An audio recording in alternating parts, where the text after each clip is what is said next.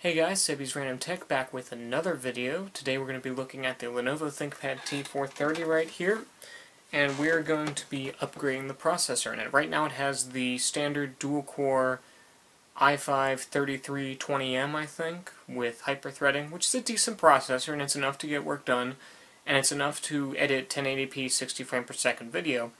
Uh, but we, we want to max this thing out. We're going to make it as fast as we can. So I'm going to be upgrading it to the Core i7-3612QM, which is one of the fastest quad-core i7 processors that you can get for this thing without going overboard on the TDP. Now, there are faster um, quad-core i7s that will fit into the socket on this motherboard.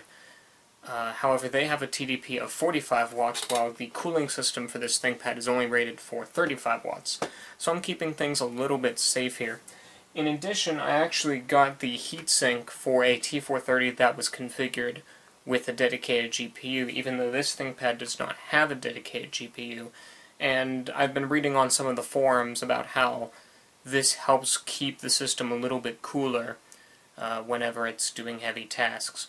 Now this video is more specifically talking about the ThinkPad T430, however this process will be similar on the T410 and T420, However, you do have to note that the processors from the T410 will not work in the T430, vice versa.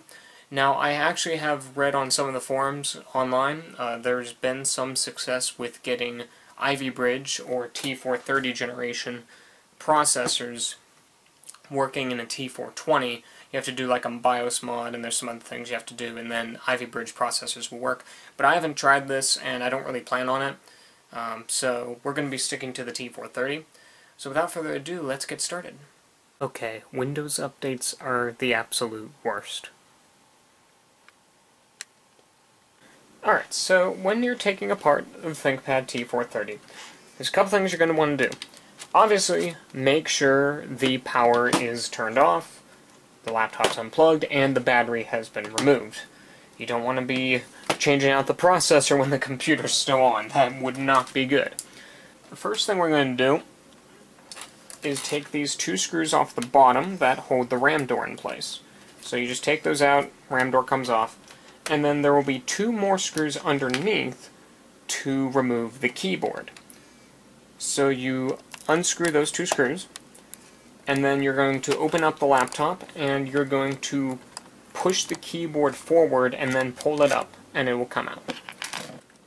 Now, normally you would take the keyboard and push it up, and then it would come out, but since this is the T420 keyboard, it has to be kind of forced into place. So there's some snaps along the bottom here.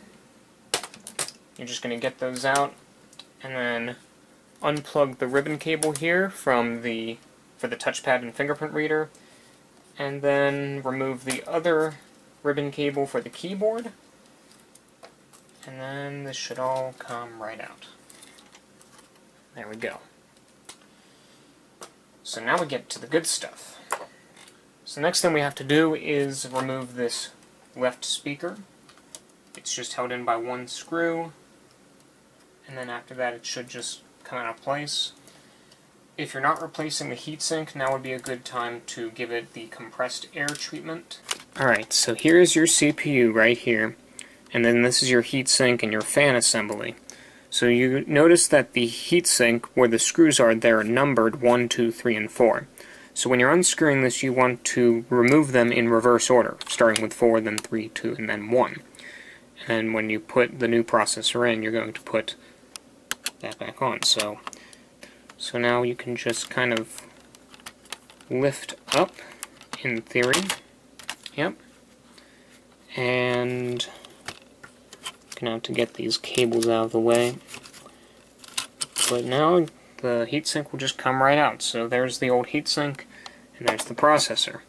Okay, so now that you want to get the processor out, you're just going to get a flat tip screwdriver. And you can see this lock unlock position here. So you're going to move this to the unlock position, and then you should just be able to pull the processor right out like that you're planning on reusing this, it's good not to bend the pins or drop it like I just did. You can see all that old thermal paste on there, and then there is our socket. So, up next, we have to get the new processor. They didn't pack this very well. I'm kind of glad it came in one piece. Okay, so here is the new processor. What you want to do is line the little arrow here in the corner up with the corresponding arrow here on the socket. You can see there is one corner on the socket where there isn't a pin. You can see the other four, three corners have a pin. But right there, there is no pin.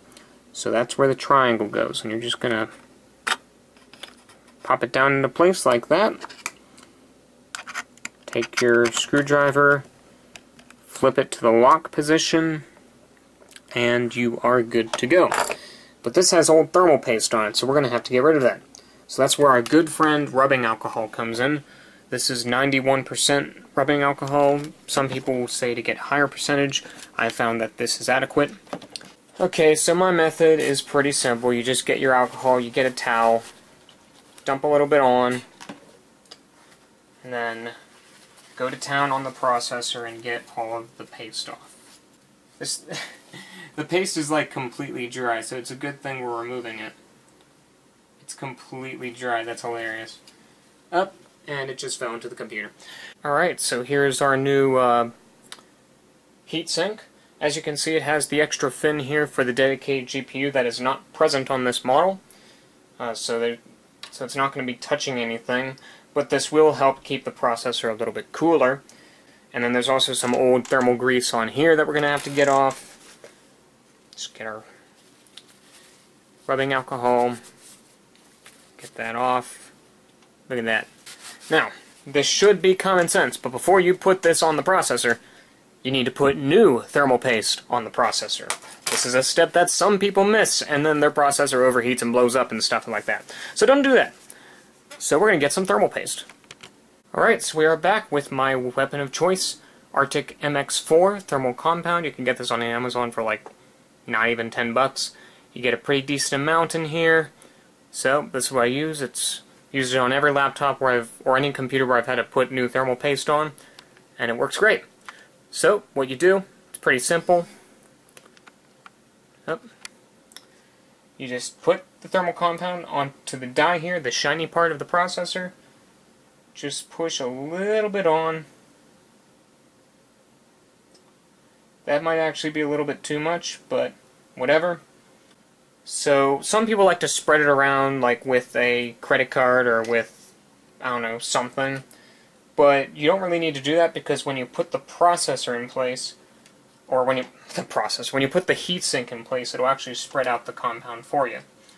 Okay, so we have the heatsink in place. So now, just going to push down lightly onto here. I think that's on there pretty securely. Now, Make sure you reconnect the fan, because it'd be bad if we didn't do that.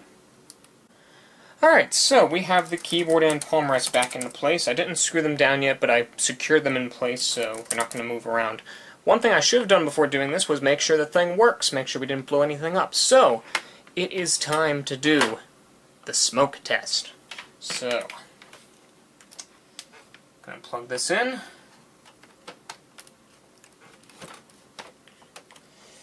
Smoke test!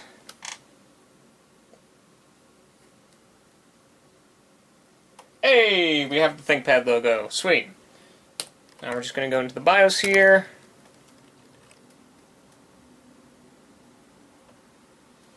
Okay, Core i7-3612QM. You can see it right here in the BIOS. Sweet. Okay, so this is working. So we're just going to shut the computer off now until we fully reassemble it. I think I forgot to mention when I was taking this thing apart, there is another little tiny screw that goes in underneath the battery. Alright guys, so now that we're finished with the upgrades, what do I think? Well, we definitely have an improvement in the speed of the computer with rendering videos and all of that. So it's definitely a good upgrade for those of you who want to get a little more speed out of your ThinkPad. Now, the stock processor, this, this Core i5, it's perfectly fine for most everyday tasks. But for those of you who want to get a little bit more out of your ThinkPad, there's always an upgrade available. So, I think it's worth it. Um, if you don't mind paying, I think these are going for around 80 $90. I think I paid $90 for mine. Uh, if you can get an i7 uh, 3612QM or a similar processor, it's definitely a great upgrade for these ThinkPads. It definitely improved the rendering speeds, and overall the system feels a little bit snappier. Uh, the only thing is, um, like I expected, it didn't really improve the graphics performance of the computer, but you could hook up an external GPU to this thing anyway, so it's not like you really need to upgrade the processor to get that benefit. That's all for today's video. I hope you guys enjoyed the video, and thanks for watching.